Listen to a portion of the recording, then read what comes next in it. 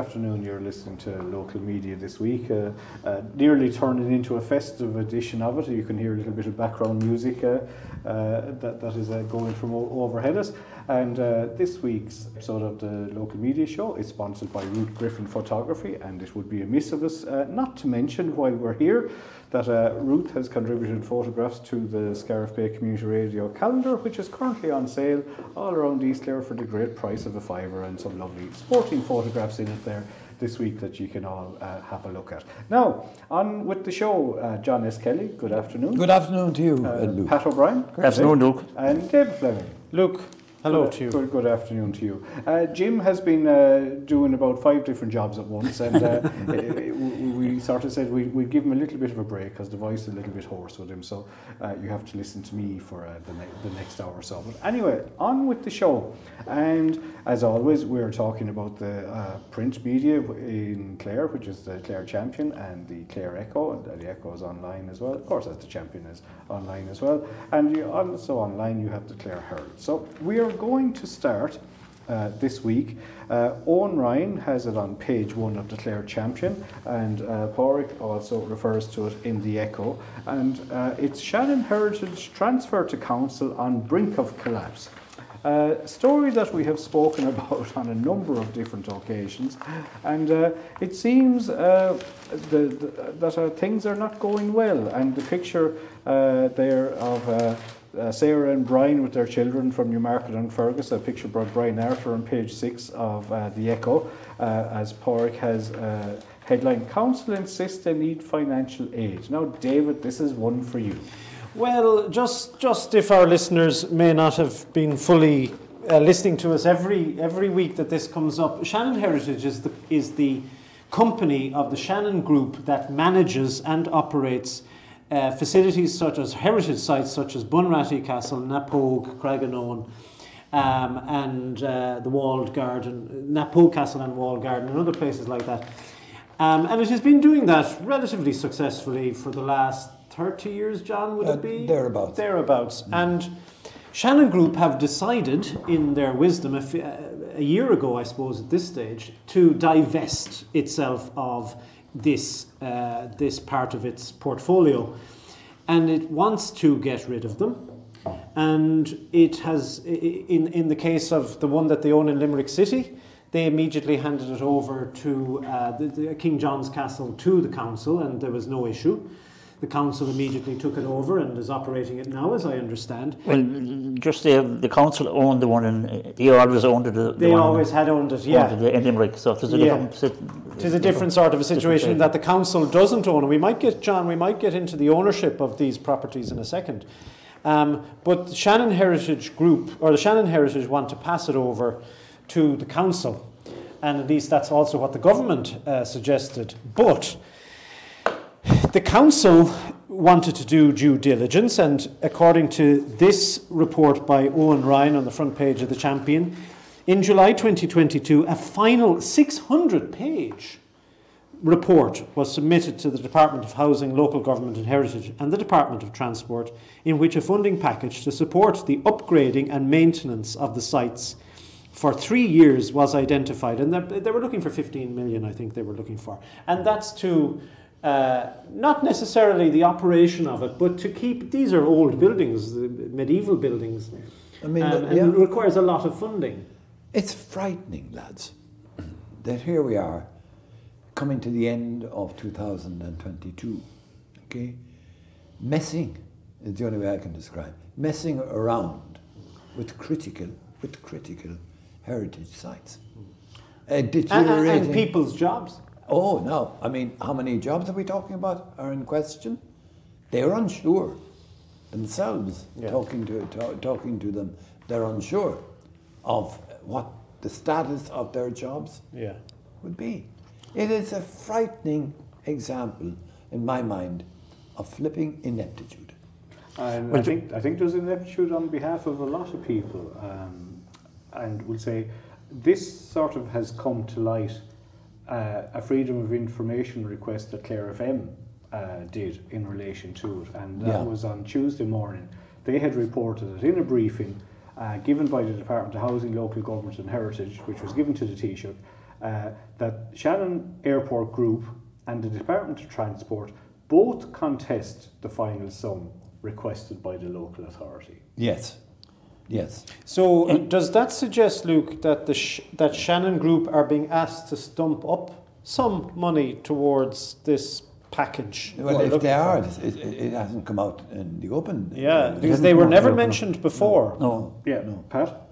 Yeah, just It says here now, just going back on you there again, David, Clare County Council were requested by government to conduct a due diligence process into the proposed takeover of the, of the Clare assets of Shannon Heritage in, in 2021. So the government asked them to do a due diligence report on it. So they, they produced a 600 page report Now, if they if, if, if like, um, I, you just wonder where's all the where's all the problems. They, they set up um, a departmental committee in, in, in Dublin in, uh, on this, and it has met four times since last May.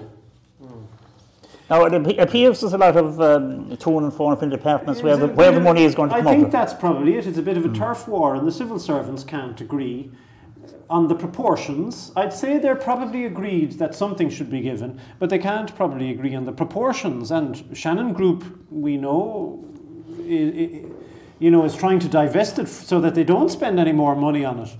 Um, and they're being asked by the sounds of this now to contribute. The Department of Transport are probably wondering, these are heritage assets. What's this got to do with the Department of Transport? Yeah, bo- both articles basically allude to, um, uh, we say, uh, Leonard Cleary, who is the Director of Rural Development at Clare County Council. Yeah. He was addressing a meeting of the Rural Development Strategic Policy Committee, the SPC, and he outlined, uh, as Pat alluded to there, the due diligence process. But just at the end of the article, we'll say that Páraic has on page six of the Echo, a strong note of caution was issued by Cleary that the council will not be able to proceed without financial support. And there's a quote. Clare County Council can only proceed with the proposed transfer should the necessary funding package be approved. To advance without the approval of the funding package would have a significant impact on services and commercial businesses in Clare. Now, I may be wrong, but I would look at that and consider that a shot fired. Oh, it's a big shot across the bows of the state government of the government. Yeah.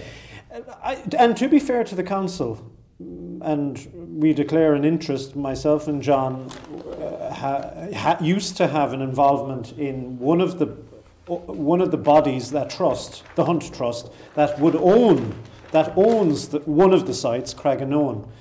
Um, th- there is no doubt that sites like Craggaunowen need a lot of investment because unfortunately Shannon Group has not been investing in the properties to bring them up to the standard that you would expect. Yeah. These are old properties and they need regular attendance. John, the consequence of this is if the council doesn't take it and the state doesn't come up with the package that they're looking for, these sites will go back to those owners. Um, I understand that Bunratty Castle is actually also owned by a trust, not too dissimilar to the Hunt Trust, a body that has no money, Yeah. that couldn't possibly employ anybody. Um, I suspect if the government doesn't do anything uh, and the money isn't received and the council refuse to take it on, these sites will close.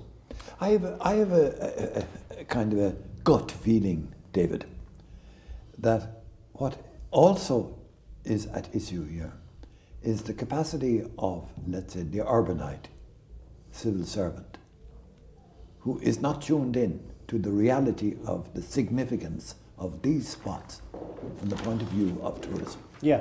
Yeah. as well as. Well, Yeah, uh, would I- again, would you- would I, that- would I you would agree with you. on I that? tar- I entirely agree. If, if I'm a civil servant in the Department of Transport, my only job is to think about the roads and rails and ports and all that. And I would be, you know, I, it just wouldn't be part of my professional psyche to be Yeah. thinking about this, Yeah. except that somebody should be telling Well, me that. then I should I point to you, David, that uh, you actually should, because if it's in your department, you have responsibility. well, exactly. And. Shannon Group, that's where that that's why that department is But involved. you see, I think if, if all these uh, if all these sites were, uh, were in Dublin, uh, uh, I think that's that thing will be all sorted long ago. Or maybe if they were down in Micheál Martin's uh, Yeah. constituency down in Cork.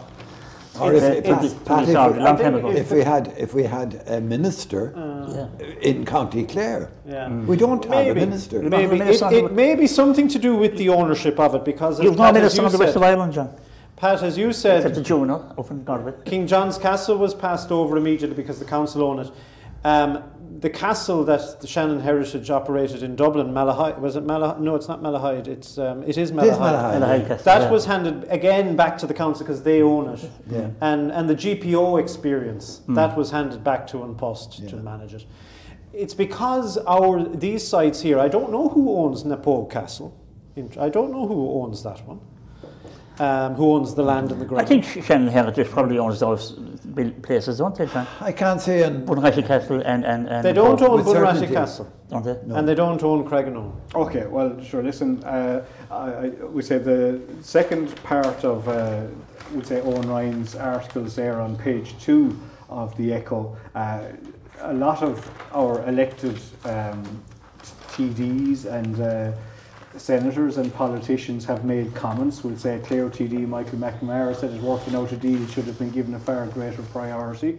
Um, he said, uh, who else are we now? Uh, uh, Violet-Anne Wynne uh, asked uh, a question of the Taoiseach and uh, said, asked for, quote, a timeline and a deadline.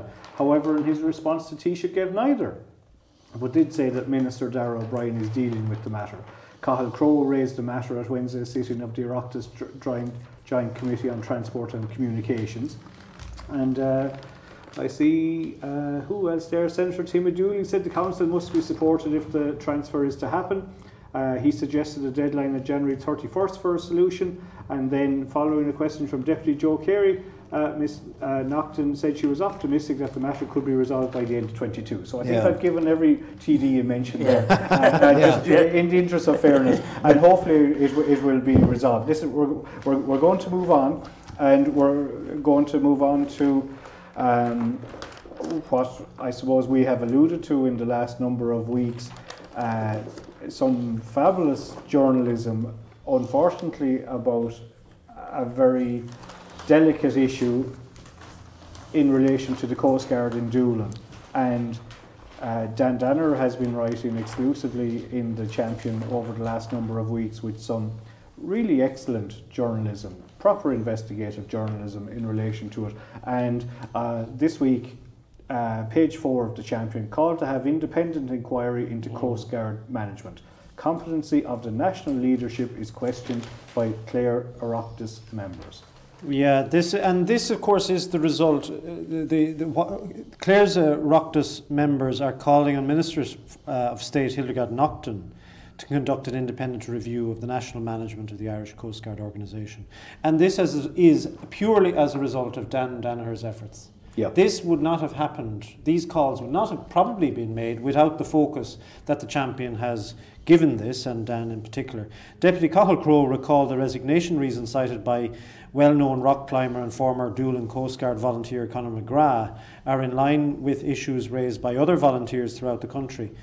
Um, and uh, it's regarding uh, the as Cathal Crowe has said, the systematic ineptitude when there is an accident or crisis. Volunteers are very competent, dedicated, and they uh, have years of seafaring experience. It's about the loss of equipment or the, the, the equipment not being up to standard. we made, a not reference, being we made a reference to that, to that last week. We did. And we made a, a, a reference, I think, the week before. Yeah, Yeah. when the story broke. Yeah. when the story broke. Okay. Now, I mean, what you're saying is a most serious, serious uh, question. And um, So you'd be a supportive, John, of the of, of an of an inquiry, of an independent review. Yeah. Yeah, I, I, I- I think it's fairly plain to see this isn't something that happened yesterday. This has been ongoing, we'll say, for a number of years. And tragically, it seems to have emanated after the death of Caitríona Lucas, that it seems to have Yes, brought things. that was the seems- catalyst. that was the catalyst for it. And just in, in this week's article, would say that Dan has. Um, would say Violet-Anne Wynne said she would support an independent review once it provided the right platform to initiate significant change in the way the organisation is run at national level. So, Yes. Yeah. and- and the issue, a lot of the the if you read in between the lines with this, Yes. there are national issues, and There are. think, uh, you know, And it was presented initially, you see, as it was a local. as it was a local and that there was some sort of feuding, and we were Mm. All speculating at the time as to Yeah. what it might be. But um, there's obviously, as you say, Luke, some questions to be Yeah. asked of national management. And we'll say Deputy McNamara recalled when he raised Doolin Coast Guard the Dáil about 12 months ago, he was contacted by volunteers from all over the country who expressed serious concerns. Hmm. So it's not, we say, while Doolin appears to be, you know, the head of it, it appears as if it's not an isolated problem. And we'll say he says he questioned if the national management of the Coast Guard has extensive first-hand experience of, of how volunteers operate on the ground. The independent deputy expressed surprise it took Minister Naughton 11 months to meet the reconstituted team and was disappointed she didn't meet SAC members, having previously urged her to meet all volunteers after the dual unit was stood down. Joe Carey uh, has said there is no proper platform for volunteers throughout the country to raise legitimate concerns, have them actioned and dealt with. Well, that's quite an indictment, isn't And it? he, says, he said volunteers' grievances have been left unresolved while some volunteers have been dismissed in an unsatisfactory Yeah. uh, manner. And he is calling for a comprehensive independent review. And uh, Senator Martin Conway has a, a new one to me now. He has called for a fundamental review of the operations, provided it's independent, and includes a stipulation national management must cooperate as some personnel, as I presume, as same personnel at national level. He says, I don't have confidence in the management of the Coast Guard. Mm. I would welcome any review that would address the concerns of hundreds of volunteers throughout the country. And he proposed that the Coast Guard should be brought under the umbrella of local authorities with the same terms and conditions as the retained fire and rescue Well, that's an interesting That's proposal, yeah, actually. that- that- yeah, that, that Yeah. should happen. That is an interesting proposal. Um, of course, the fire brigade and the fire services is, is semi-voluntary as well, isn't Well, it? in different, you've, you'd have retained. You've uh, retained- no, no, no, the- you've the retained fire and you have service is not- volunteers. It's not voluntary. Yeah, no, yeah, fire isn't. No, Fire they're, they're not all full time. Not all Yeah, full time. They're not all full time. Yeah, it's a but, part but, time. but they do get trained and you know Yeah. get Yeah, proper know training. yeah. Proper training. Um, Yeah. And they get But but interesting about this article, we don't hear the response from the government or the minister. The, we have all the calls for the inquiry, but and presumably this was a debate in the Dáil, I presume. Var- various. It has been raised at various times. But what would that indicate to you, David? Eh, treading water at least, or that they're resisting it. Correct. Um, but it would be useful to know what the minister might have said in response, because we don't know, and maybe maybe we'd like, um, you know. Um, so she's mentioned a lot. Cabinet. Now it says here if Minister Naughton remains in a position after a cabinet reshuffle, and the re- cabinet reshuffle is in a couple of weeks, two weeks time, I think. So it. wi- Maybe she herself has decided, I'm not going to put my head over the parapet on this one just yet. Yeah, but uh, uh, you sort of said she had. She's been the minister for more than three weeks. Like. Yeah. But is, is there any? Is, I'm wondering, is there any of our local politicians really listening? I, I, John, I don't think there's an issue with the local politicians. I think they they are the They're ones doing their best, They're doing their best and raising it. Now, I would imagine there, uh, you know, certain work has gone on in the background. But John, as I'm sure you know yourself, dealing with sort of uh, you know government agencies or national agencies, sometimes you can be banging your head off. Uh, you know, Yeah. it'd be like banging And- your head off a stone wall. But until it sort of gets a bit of publicity, Yeah. Which And that's what we're doing. no, no, Yeah. but but we said, i you know, I said with Dan's stories over the last number of weeks, Yeah. I think that it has raised uh, the, The awareness, yeah. and uh, you'd hope that some bit of action will take place. It sounds as if, though, as well, that maybe the national management is resisting. Correct. And if, if, if you were the national management, you were being criticised and all of this was coming, of course you would resist because but I, your, I don't. position I don't that. agree with you at all, lads.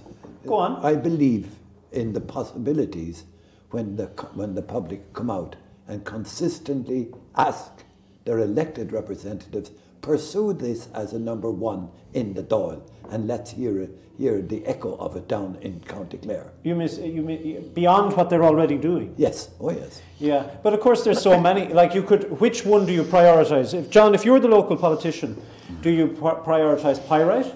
Do you pi- prioritise Shannon Heritage? Mm-hmm. Do you prioritise Doolin?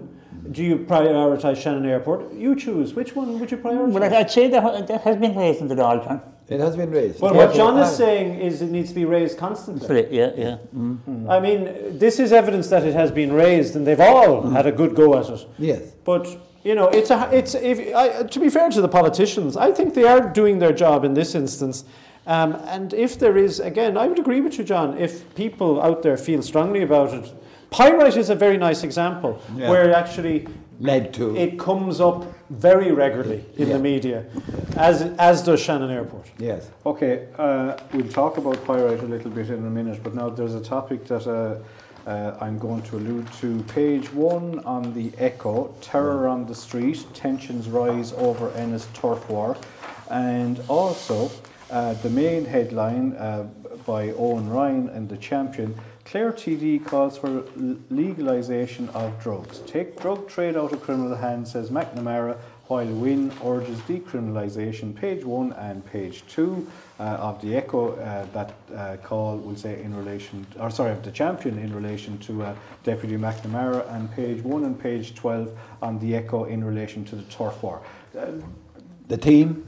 Well, there may be a, a, a constant theme between the two of them. So, Pat Yeah. and David, uh, Well, well, to any, if any at any time you see the word terror on the front page of a paper, it's going to, it's going to attract attention.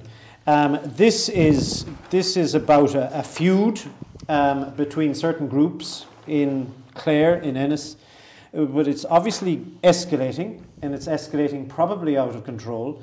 Firearm discharged on street. These are the subtitles. Firearm discharged on street, and it's probably more than once. Three caravans destroyed, a grave firebombed, innocent people at risk. Now, they're very serious um, issues. Uh, What are you seeing in that?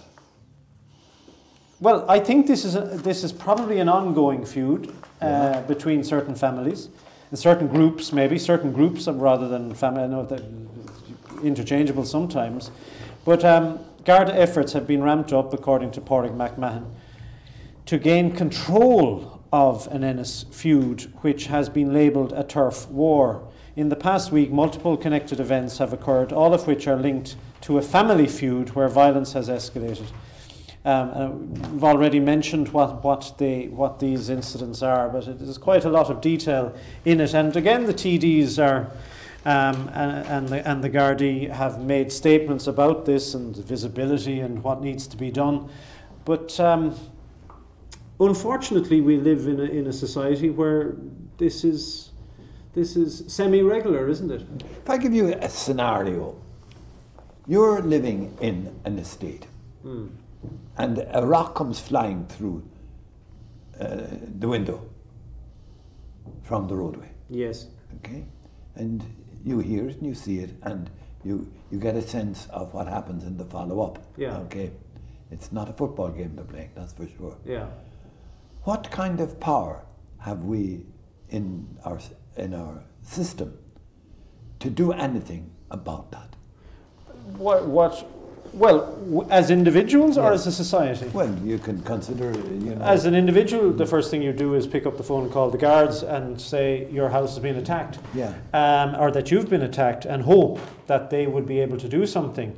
I mean, that is the way our system works. So you can't, like our conversation yesterday or last week was about taking the law, not, no, I shouldn't say that, but having firearms in our own houses or farmers having Yeah. firearms. yeah, Um, in this case, the wor- they're attacking each other. It's a family feud and they're attacking each other. But the danger is it spills out. yeah. It spills out of control. Real danger. Yeah, like I don't know, John. I mean, what can what can the what can the guards do? There is a weakness. society? I mean, there is a, the county council. I go back to the the, the county council.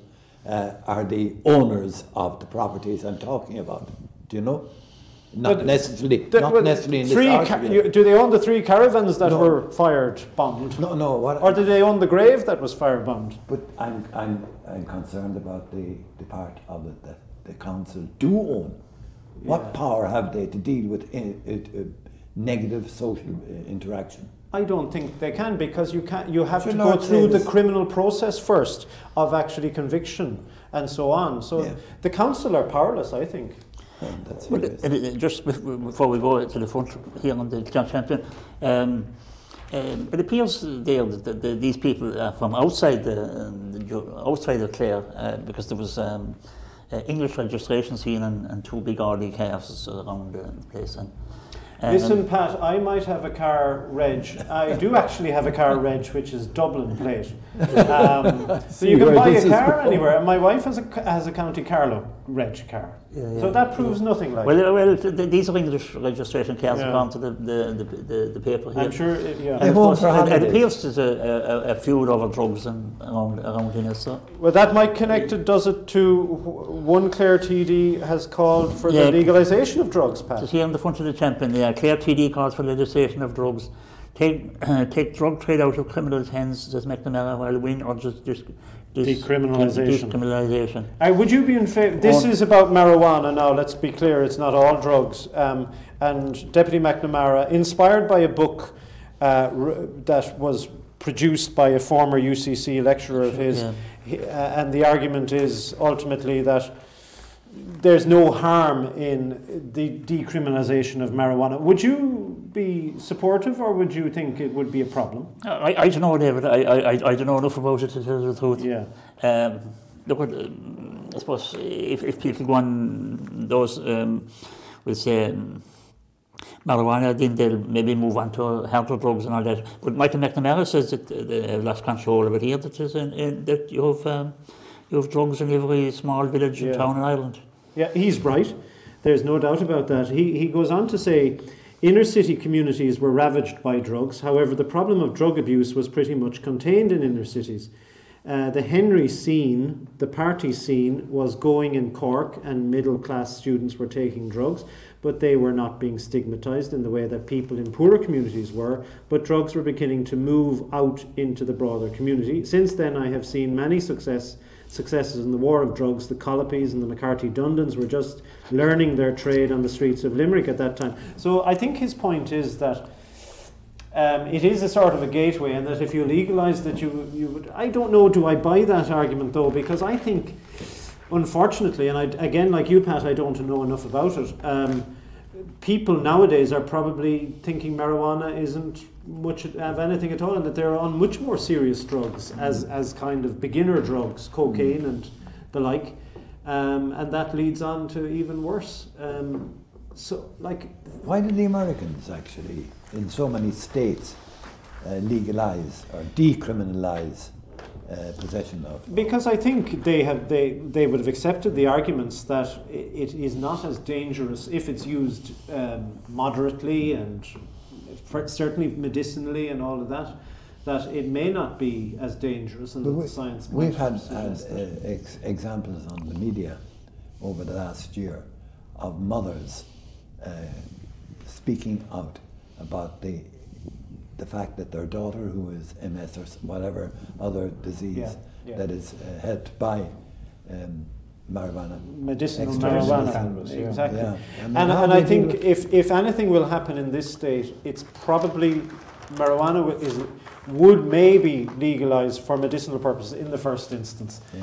And it like again, we should take our examples from the places that work that have seen this done, and has it caused much damage? Now, I, I don't know. I haven't read the information. Yeah. I suspect some people, John, would be worried um, about the legalization of, of, of marijuana and what it might lead to.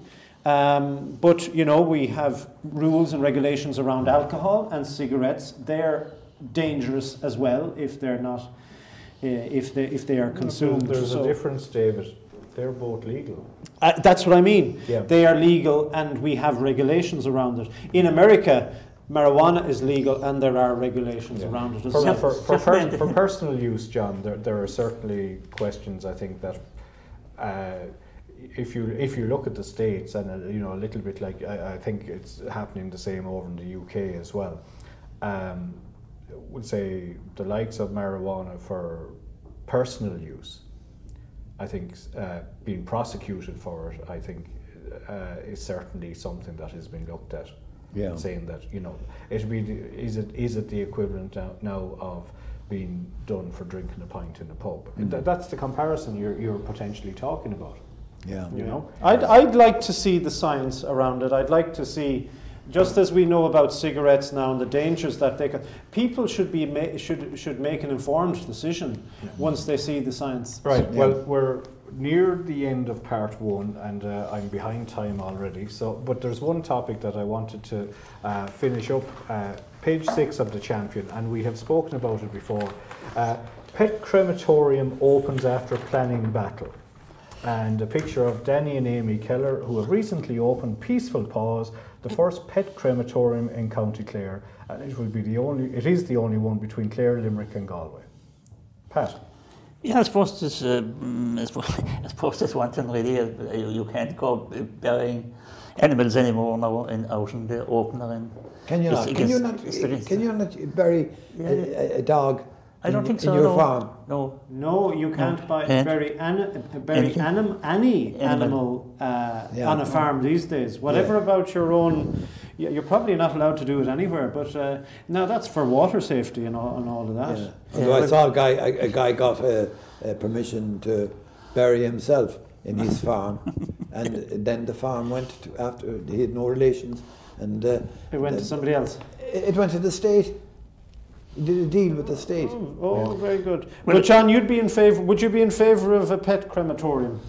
Pet crematorium. I never thought about it until I actually saw it on the Yeah, paper. A good business Yeah. opportunity there now. Yeah. yeah. I mean, uh, the number of pets that people have, like, uh, there, there are pets everywhere, and what do you do with them um, if you can't uh, officially bury them anyway? But uh, we, we, we, I remember covering this story when we saw the planning permission, and uh, I think it's, I think it's good. It, it's probably the only one we have in the county. Yeah, it, it's covering a few counties Cover- now. I, yeah, I Galway, just- Galway, Limerick and Clare, yeah, yeah. I see, Pat. Now, you know, John, we talk about common sense and how it's not that common. right? Uh, da, da, it would say it's Dan Danaher has the article. A peaceful pause, which has been supported by local vets. That's all I need to hear. Yes. If Yeah. What do you mean, Luke? If it's been supported by local vets, who, if you have a problem with your pet, do you bring it to? You bring it to the you vet. bring it to the vet. Yeah. And if the veterinary people, as a grouping, individuals or, or an organisation, are in favour of it, I think it is a sensible. All right, it's sensible. Yeah. You're not suggesting that vets might be encouraging people to put down their animals No, in order to avail No, of the That's a question for Tom No, Hanley. no, absolutely not. But but you you, Yeah. you know you, you look at um, I would say people's attachment to pets and has probably significantly increased. And I think Yeah. you, you, you look at more recent years. You know, you, you, we all might have had a, a mutt or a mongrel years ago. They're all pedigree dogs and, Oh, they are, cats and now, very you know. valuable and Exactly, expensive You know, items. and- Well, and- I, I know a girl recently that uh, her dog died and she went, she... Your said- dog died. No, not my dog. No, uh, um, a girl, uh, she was a niece of my, my wife's and her dog died and she, he was, he was cremated and it cost 90 euros. Oh, that's not bad. Yeah. yeah, but well, listen, uh, I suppose you have something, something to remember them by. Right, listen, we need to finish up. You'll get a card back from uh, Luke. Yeah. They'll send you a little nice card. we, might, we might have a collection of ashes on the mantelpiece, but uh, Pat, uh, half-time music, what are we going to have? I I was rushing to get my music done, Luke. Uh, anyway, uh, with Andy Williams, I can't take my eyes off of you. Oh. That's about the dog. Right, we'll be back in a few minutes. Oh,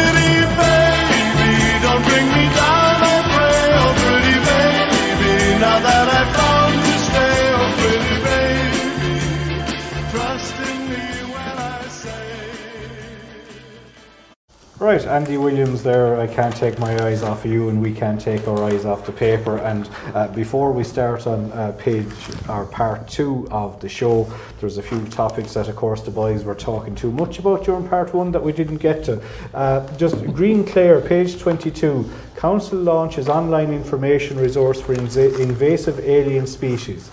Well, these are not aliens from um, another planet, but uh, it, they are as dangerous.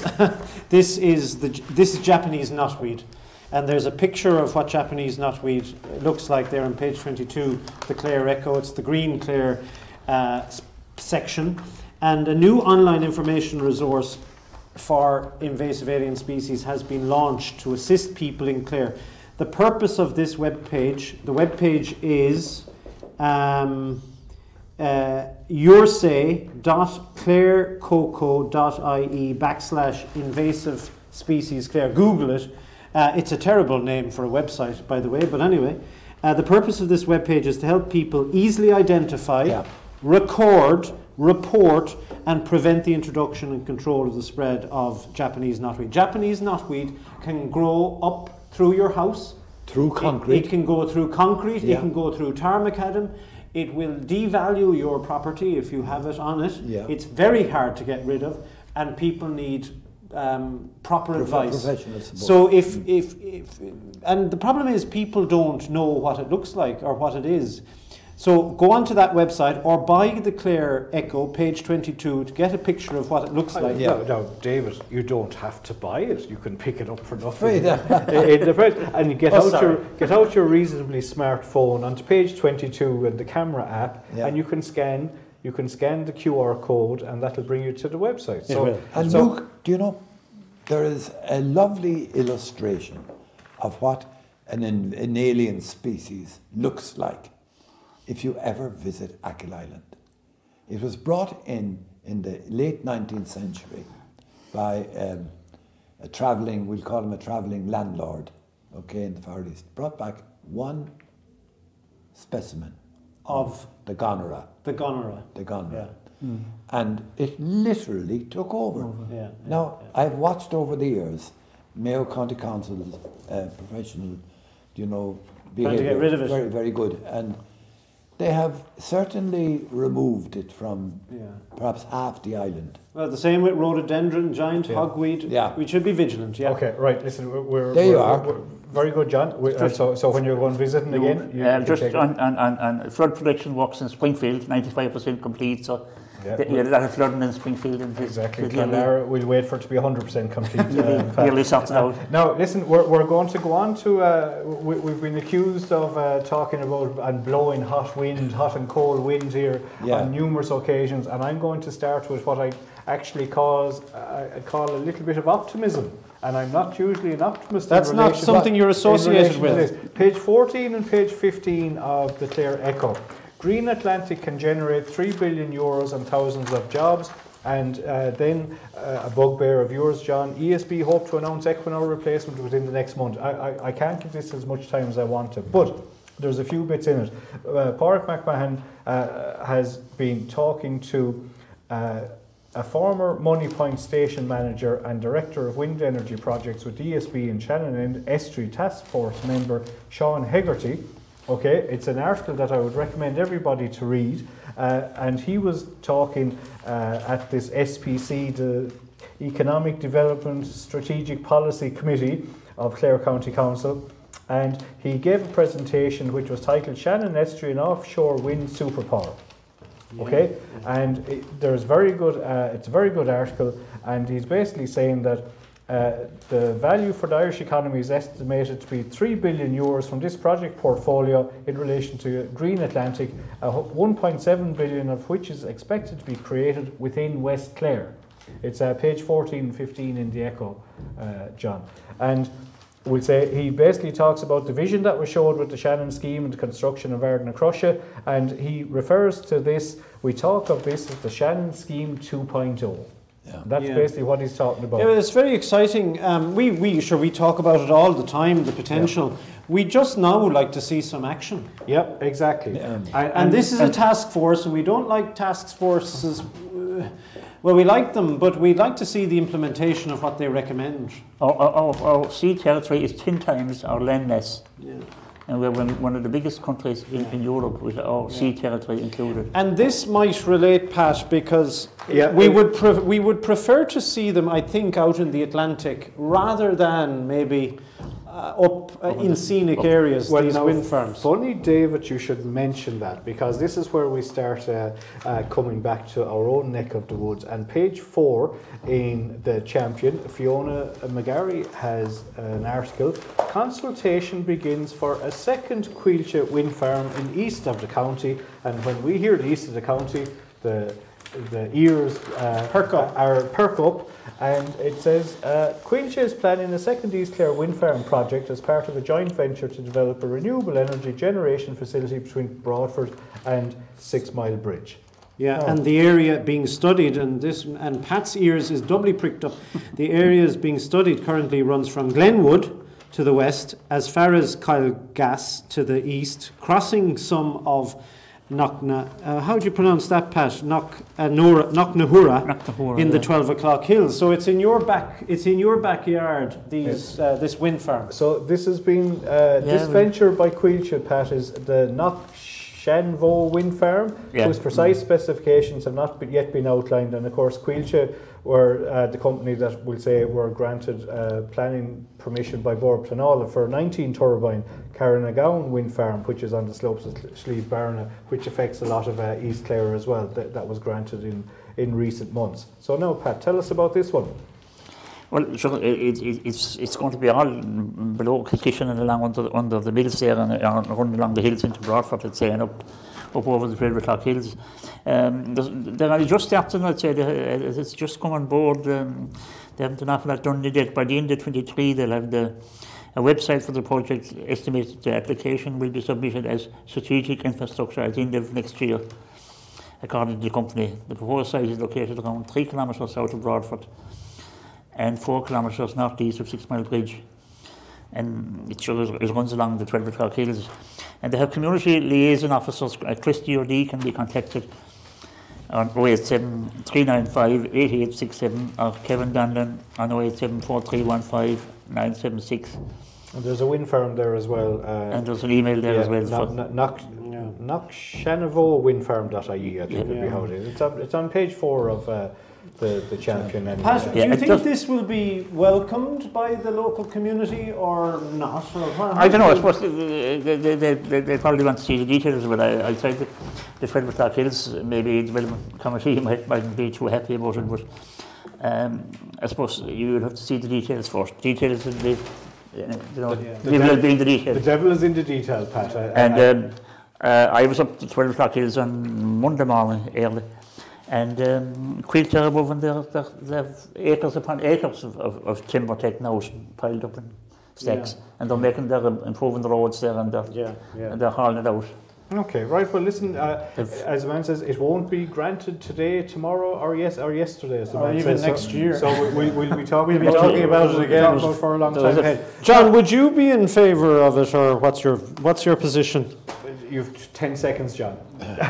Well, I'd, I'd do a typical uh, kick for Kick for the proverbial touch. I'd, I'd want to hear all of the arguments. The, exter- the, the ones outside of Clare are uh, easier to de- de- talk about Well, that. offshore, offshore wind, I think. Yeah. Uh, Yeah. Yes. But of course, unfortunately, Coillte don't own any of the Atlantic Ocean. No, That's that's not, right. not, not, and not yet. Coillte is trying to diver- diversify, isn't that it? Exactly. Now, uh, talking about diversifying, we're going back in time. Dan Danaher has an exclusive on page one of the Clare Champion. Michael Collins missing money case unearthed in Clare. John, do you want to tell me about this? Well, now, it's an extraordinary photograph that is on page two, and an accompanying article on page one as well. There's um, uh, Yeah, it starts on page one. part on page. Michael Collins, missing money John. case unearthed in Clare. How about that now? Where, is the money still in there? Dan Danaher has the exclusive. Yeah. Uh, uh. So, the proposed, where are we now? Ah, there we are. Dan, you're writing a fascinating historical collection, including what is believed to be Michael Collins's missing money bags case. It's been unveiled for the first time. An individual in East Clare that Dan is writing about has in his possession, David, an extraordinary collection of memorabilia associated with the War of Independence, Civil War, and indeed uh, back as far as the Fenian in the mid 19th century. And the photograph of, the artif- of some of the artifacts is on page two. Now, how did a, a money bag, which is staring me in the face, how did that get into the possession of an East Clare family? And quite clearly, the family in question was intimately involved. Yeah. I think they were involved were they with the Brennans and the Brennans That's right. were The Brennan officers the- commanding here in East Clare. He was. And I think one of the Brennans robbed the post office. I'm getting all this information now from the champion. Yes. Yeah, the East Clare Brigade. Yeah. robbed- Yeah. the- uh, The East Clare Brigade went down to Limerick, robbed the post office. Yeah, for to buy guns. And, and to buy guns. because Collins wouldn't give them guns. Yeah, quite right. Who, who would, you wouldn't want to be arming the East Clare people anyway. Yeah. Uh, and Collins was a cute Corkman, of course. Um, so show me the money, he said, Collins. Yeah. And so the money was brought up to him, and I suppose they, there's two shotguns there on, uh, as part of that picture as Actually, well. I was in I was in this man's house, and I, I, I, I had all those I had all those things in my hand. Yeah. Yeah. We'll have. was, there any, was there any money in the bag? Uh, No, there was no money. in it.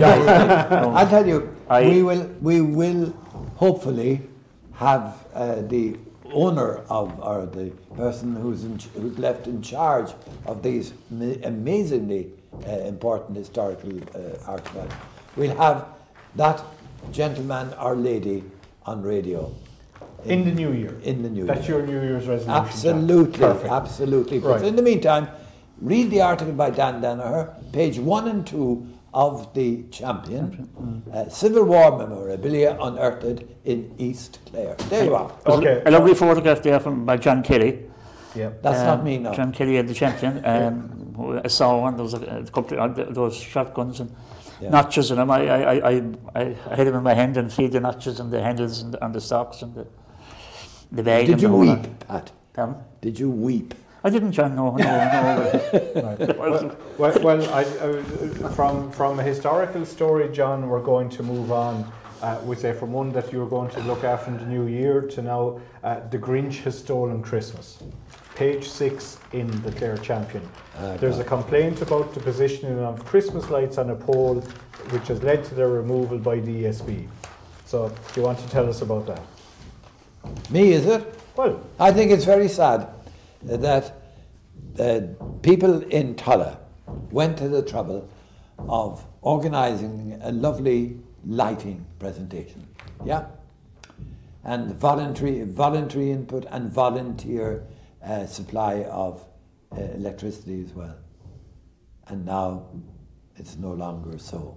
Isn't that the, the main thrust of the article? Yeah, it, it says uh, Tim Humphreys of Tulla Tidy Towns confirmed the group had been forced to find an alternative arrangement and that Main Street is without its traditional festive illuminations Yeah. in the meantime. And he says, quote, recently a band of 12 plus volunteers, including qualified electricians, spent two and a half days hanging the lights in Tulla as we have done for years previously. The ESB notified us of a complaint lodged with photographs of the installation that the lights were being removed the next day by them. Uh, Luke, but what, it's not clear, is it, from the article, um, what, what exactly was the problem? Well, the one problem it definitely wasn't. Uh, Mr. Humphreys confirmed to the champion that there was no question of the lights drawing any electricity from the poles. Right. So it was, it was just the fact that it was on an ESB pole, the lights were. Yeah. yeah. Now, of course, the Scariff lights went on On the- Thursday, Thursday night and, Tuamgraney lights on on Saturday, Saturday. And I'm sure everywhere else around Clare Exactly, it's that it's that weekend, and you notice that they've all their own polls. So I, you know, it's the ESB says here we're very apologetic. I suppose it's a matter of unfortunately health and safety and Mm. being sued and all Yeah. the rest. It's But not their poll, so But a, a potentially good bit of news at the end of the article says alternative options are now being explored, which will require the cooperation of homes and businesses on Main Street. With the goodwill of locals along Main Street, we have undertaken at additional expense and time to have bespoke brackets made and installed that will carry the festive lights for years to come, hopefully. there And might be a good a end good end. Exactly. Yeah. So, right now, Well, I think uh, there's an objection. There's an objection from somebody that, Is that right? that that's why they had they had right. Yeah. Yeah. Right, we're going to move on, we'll say now to, uh, we'll say our own pages, shall we say, which is page 13 in uh, the, the champion. want. Oh, yeah. yeah, And uh, we're going to, we'll say it's page 19 now, we'll say is the new page, we'll say in the Echo. And uh, I will we'll look at the Echo first, and it says uh, View works to be completed soon, which is a remedial works are targeted to be completed by the end of this year for houses at View Scariff. To which I will correct Pádraig McMahon and say it's Derg View Scariff. Uh, Derg View is technically in Tungraney. And, um, uh, Um, but there's a lovely picture of Scariff. well, there's a well, yeah, but with Tungraney ha- in half the background of it, there, uh, you, you know. So, uh, so would say Councillor Burke has uh, and Councillor Yeah, that's Cooney ha- have uh, written both both on it there. Uh, Councillor O'Callaghan as well uh, believes. Uh, uh, there's work being taken in relation to estates being taken in charge, and also uh, the great uh, uh, Councillor Hayes will be happy to hear that the section of the R461 between Kilneen and Drummondura will be considered for restoration improvement works as part of the 2023 schedule of municipal district works. That, uh, as I said, uh, that's the council looking after. Uh, Luke, could I stick in uh, uh, something there that troubles me? Uh, and time I'm troubled, I, I have to get rid of it Yes. by dealing with it. Aldi have been granted uh, planning permission for a second uh, retail outlet in Ennis. That's right. It's Oh, I did have, yeah, It's here yeah. in the paper, in front of us. On the Kilrush Road, yeah. Yeah. And one of the arguments that has been made in its favour is that uh, it offers, it'll offer X number of jobs, Yeah. Mm. both in the building stage and in the post-building stage. And I'm saying, what about the jobs that may be lost in the rural villages of East Clare yeah, yeah. and uh, around Mid Clare? The jobs that our students, you know, avail of because the local shop is doing well. My point is, for God's sake, when you continue to support the, your own local services, and in this case particularly the retail service, yeah. because Yeah, where there are yeah. jobs gained in the larger town, to it, Ennis, there are jobs maybe lost Lots in other on places. the yeah. local Well, village. is, is that not a whole uh, question about the whole urban-rural divide? It is, of course, uh, Luke. Yeah. yeah. Right, well, listen, uh, we'll uh, get to one or two little issues uh, on our own neck of the woods there. There's a nice picture, uh, of course, by uh, not the John sitting beside us, but uh, John Kelly of the Champion, uh, of uh, participants of the inaugural Killaloe Festival of Lights Parade in 2019, of course, which got postponed for 2020 and 21 due to COVID. I never knew they had a bit of a parade. yeah, there was, yeah. Yeah. And uh, Luke, go- I just noticed in the same page, social homes started ex- start expected shortly. This is the works that are to be expected, social housing development in Scariff before the end of 2022. These are the, I think, near is is that the site near the Mart? Yes, not, not, far, not, not, not far away from Not far here. from here, so that's good news. Yeah, it is. And uh, then you have decision date in March over appeal for Tulla Homes, which w- we spoke about previously, Pat. This is a. Uh, yeah. Where's that? Uh, it's uh, pa- on page 13 there, uh, John. Page 13, yeah. Yeah. Yeah, I think they've, they've lodged an appeal there. Uh, they're down at the back of the, where the, the secondary school um, was, Luke, that site, and the houses there have been completed now. I, I see lights in Ireland all night, there's people living Yeah. in them. So I, I suppose um, uh, this, this site, I was talking to a Tulla, Tulla resident, and he told me that um, there were these uh, houses, 36, were going in the back of those houses. Yeah. Yeah. This is where there was the issue with. The, is this where you had the issue with the, The footpath, on Footpath the going main into, street? into yeah. the main street. Yeah. Okay. I, I, see uh, in the bottom left-hand corner, page 13 there, uh, Senior Planner Brian McCarthy was welcomed as the new coordinator of the Killaloe Municipal District when members met recently in Scariff. Uh, and uh, basically, I think he's the man that all, all the local uh, councillors will be depending on. Uh, you know, so ho- hopefully uh, he'll be here for a while and that uh, he's uh, well, well up to uh, carrying Yeah. out his jobs. I see Councillor Pat Burke is. Um, He's alive, isn't he, and well? well, indeed he is. And He's looking well. He's worried about he's, uh, he's pictured there. Is he on to, a, is he on to an important point there about the limit on rural, uh, the uh, speed, Speed limits on rural on roads. well, roads? well He no, is, yeah. John, he is, but he has to realise that the council are the main body responsible for setting these limits. I was going to ask you that to know.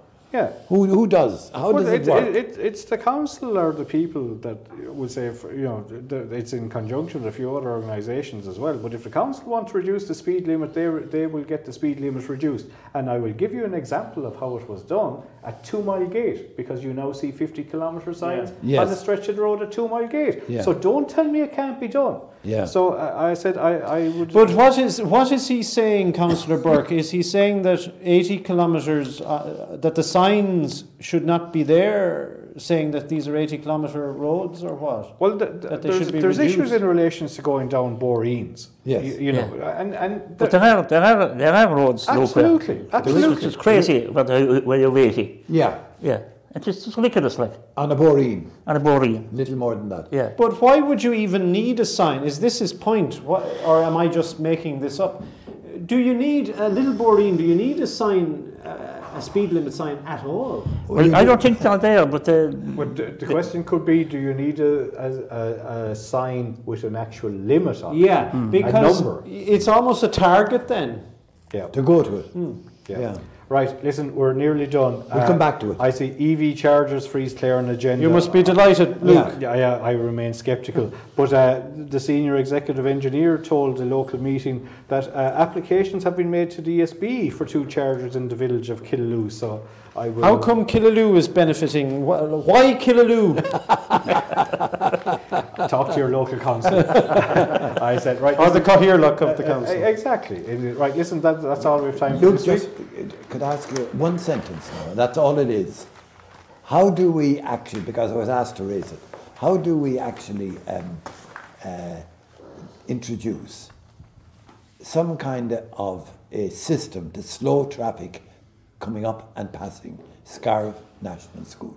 Uh, I would give you the example, David. Do you go the back road from O'Brien's Bridge? Sometimes. Right. Uh, for anybody that has been on that, that road in the last week or so, uh, works were put in that basically at the junction, we'll say you've the main road, we'll say from uh, Montpelier, heading, we'll say for Daly's Cross, and there is a junction that brings you down to Castleconnell. That's right. There is now a bump on that road that, by I tell you, will slow you down fairly Yeah. quick. Ramps and bumps will always Ramp slow and the traffic down. yeah. So we Unfortunately, support ramps and bumps. Well, there could be other options too, but uh, if you're talking about the schools, uh, uh, road narrowing, Yeah. you know, putting concrete Yes, bu- yes. bollards in the middle of the road sort of sometimes does it as well. We're over time, Oh dear. as always. Pat, we'll go for the flower of Scotland, uh, Luke. oh, I thought we were going to have a Christine McVie We- we'll- song in relation for Fleetwood Mac. So, but, but uh, right, so Flower of Scotland, what's the occasion? The? Models Obvious Choir. Oh, we're getting ready for Christmas. Hum- humbug. right, that, that's it from us this week. Uh, which I said the uh, program is sponsored by Ruth Griffin Photography, and as I said, uh, the Scariff Bay Community Radio calendar is on sale with photographs from Ru- uh, Ruth all around. Uh, East Clare, and it'll be in various shops or talk to a volunteer. Great value for a fiver for the stocking. So that's it all from us. Take care, and we'll finish with the Flower Scotland. Oh, flower Scotland. Will we see your legs again? That fought and died Yet we Bethel and Glen and stood against him proud Edward's army and home.